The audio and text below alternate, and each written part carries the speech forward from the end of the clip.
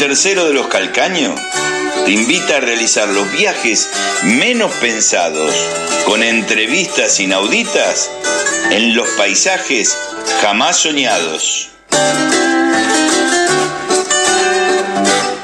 La verdad es que la sociedad estaba cansada. Estaba cansada que después de una feroz represión, los partidos políticos se fueron turnando, cada cual en sus periodos, pero sin resolver los problemas de fondo.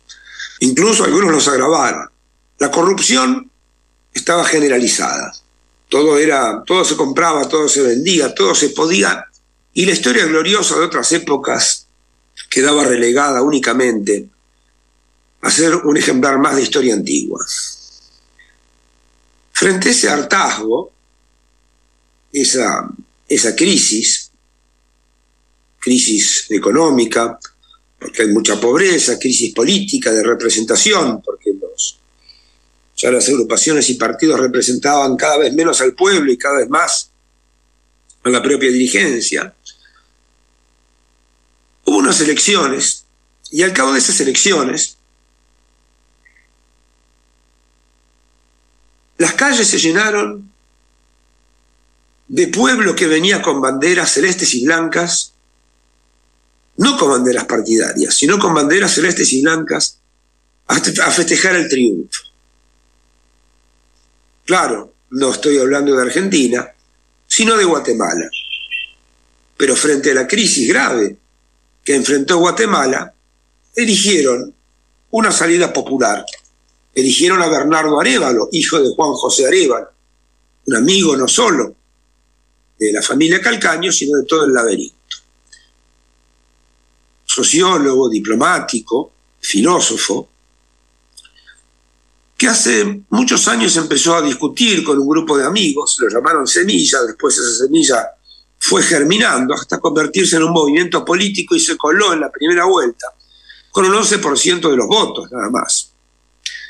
Fácil sería derrotarlo con la concentración de medios, con la fuerza que tienen los evangelistas, con una candidata Sandra Torres, que ya había sido primera dama de otro, de otro presidente, pero sin embargo, Bernardo Arevalo puso el eje de su política, el eje de sus propuestas, en la lucha contra la corrupción. Sandra Torres puso el eje de sus propuestas en la lucha contra la inseguridad. Sandra Torres, que venía de la socialdemocracia y llegó al ultraliberalismo, Quería ser como Bukele ahí en, El Salvador, meter a todo, encerrar a todo el mundo. un país concentracionario prácticamente, atacando claramente las consecuencias en vez de las causas. Por el contrario, Arevalo va a crear un gabinete especial para la lucha contra la corrupción, es decir, para atacar las causas. No lo que decía Picón al principio, los pibitos, sino realmente los corruptores importantes. El pueblo de Guatemala ha hablado muy claro, dice Bernardo Arevalo. ¿Mm? Recalca la expresión de júbilo y celebración y el hecho de que no llevaron banderas del partido Semilla, sino que llevaron banderas guatemaltecas, celestes y blancas, inspiradas en la bandera argentina, cuando la Argentina, en los albores de nuestra independencia, era un símbolo de libertad y el amigo Hipólito Bullard iba repartiendo por Centroamérica propaganda revolucionaria y banderas celestes y blancas. Arevalo obtuvo el 58% de los sufragios. Fue a votar poca gente, pero realmente aplastó a la señora Torres, que sacó un veintitantos. El actual presidente, Yamatei, es un señor bastante corrupto, hizo todo lo que pudo para que Arevalo no fuera electo. Ahora, los tribunales, la justicia de Guatemala, la administración de justicia de Guatemala, lo que va a tratar de hacer es precisamente meter presos a todos los dirigentes que pueda de semilla, incluso el mismo Arevalo, porque parece que hay unas firmas en una planilla de constitución del partido Semilla que estuvieron mal en el 2018. Fíjense hasta dónde llegan. Pese a que dijo Arevalo que por el momento la interrupción voluntaria del embarazo no está entre sus, acciones de gobierno, los evangelistas le van a caer como la sífilis al bajo clero.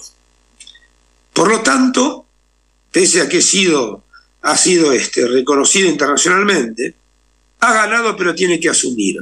Como su padre Juan José, ha llegado al gobierno, ahora tiene que construir el poder. Ah, también como un cierto Néstor Kirchner, que también llegó al gobierno, pero tuvo que construir poder, y vaya si lo hizo.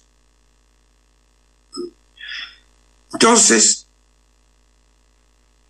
lo acusa a la Administración de Justicia de estar corrupta y de judicializar y perseguir a Semilla y a otros actores, en particular los movimientos sociales, los movimientos indígenas. Recordemos que Guatemala, un país de 19 millones de habitantes, tiene una fuerte impronta de pueblos originarios.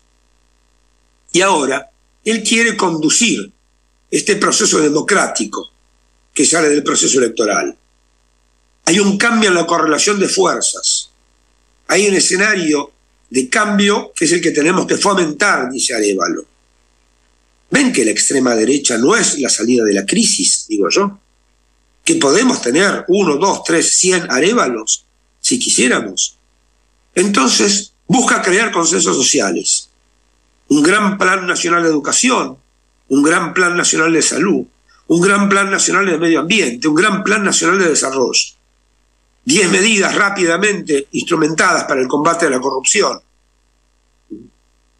que incluso incluirá la muerte civil.